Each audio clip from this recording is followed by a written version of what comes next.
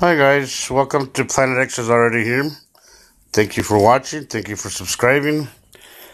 I'd like to explain to you a little something about the flickering sun. A lot has been said about it. A lot of myths and bad information out there. Saying it's a sun simulator, saying it's HAARP, saying all kinds of crazy things. Well, a little simpler than that. Okay, so I took these pictures the same morning as the video that you just saw.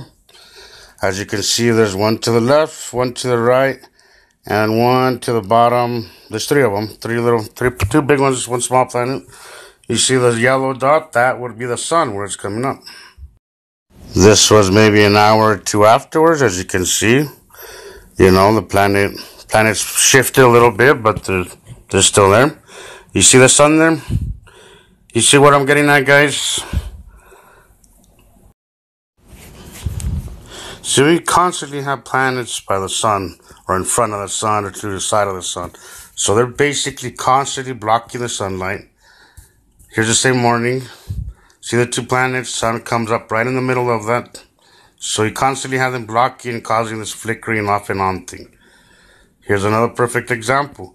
A planet blocking the sun, it's about to block it.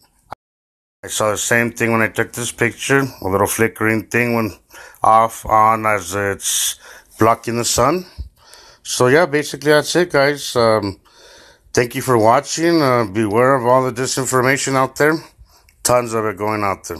See you guys.